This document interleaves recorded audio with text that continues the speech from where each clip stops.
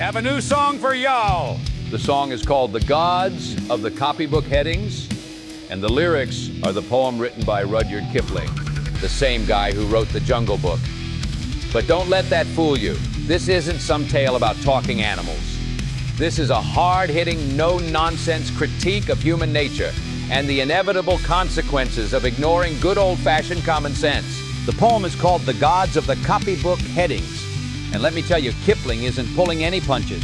Now, copybook headings, stay with me here, were these moral sayings the kids used to write out in school to practice their penmanship? You know, gems like honesty is the best policy, and if you don't work, you don't eat. These weren't just filler, they were the bedrock of common sense. And Kipling treats them with the respect they deserve. But here's where it gets really interesting. Kipling is essentially saying you can ignore reality but you can't escape the consequences of ignoring reality. And that's where the humor comes in. The poem almost chuckles at the way humanity keeps falling for the same old tricks. Like a dog chasing its tail, we chase after these utopian fantasies, thinking we're so clever, but we end up right back where we started, sometimes in worse shape. So, what's the takeaway? It's simple. Don't get caught up in the latest fad or slick sales pitch that promises you the moon. Stick to the basics, the truths that have stood the test of time. Because when the chips are down, and they always will be, it's the tried and true that will see you through. Kipling knew it, and if you're smart, you'll take his advice to heart. Rudyard Kipling's poem, The Gods of the Copybook Headings, was written and published in 1919. It came out shortly after World War I, during a time of significant social and political upheaval, which is reflected in the poem's themes of timeless wisdom versus fleeting modern ideals. Now, here is version one of The Gods of the Copybook Headings. As I pass through my incarnations, every age and race, I make my proper prostrations to the gods of the marketplace. Here Peering through reverent fingers, I watch them flourish and fall. And the gods of the copybook headings, I know it's I'll last them all.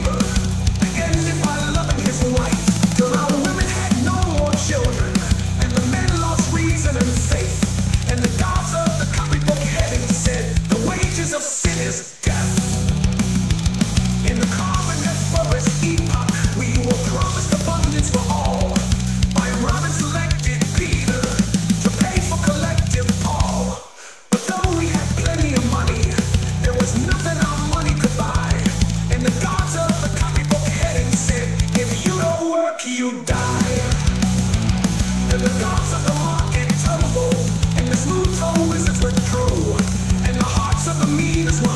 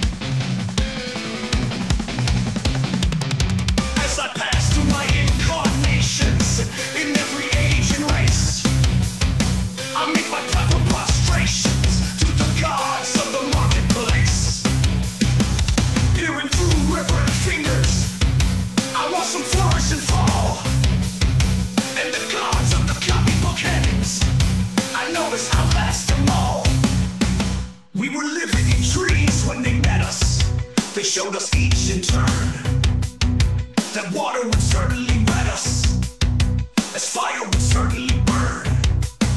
But we found them lacking in uplift, vision and breadth of mind. So we left them to teach the gorillas while we followed the march of mankind.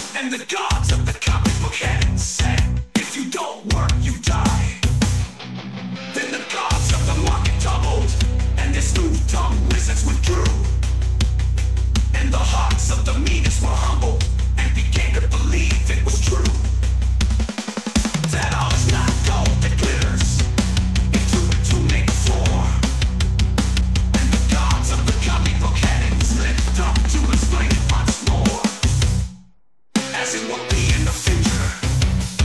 It was at the birth of man. There are only four things certain since social progress began. That the dog returns to his vomit, and the sun returns to her fire, and the bird fool's bandaged finger goes reveling back to the fire.